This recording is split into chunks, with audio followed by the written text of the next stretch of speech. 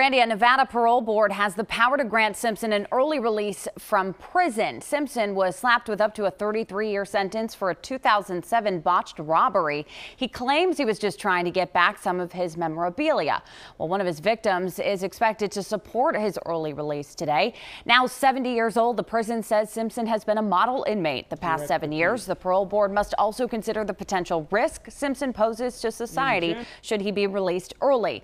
Memories of his murder trial may be hard to ignore. Simpson was famously found innocent in the brutal slayings of his ex-wife Nicole Brown and her friend Ron Goldman. Later, he was personally found liable for their deaths in a civil case. And if Simpson is paroled, he's not expected to walk free until October 1st. ABC News will carry the headline or the hearing live. You can watch it right here on Channel 5 starting at 1 o'clock. We'll also carry it for you inside the WCVB app.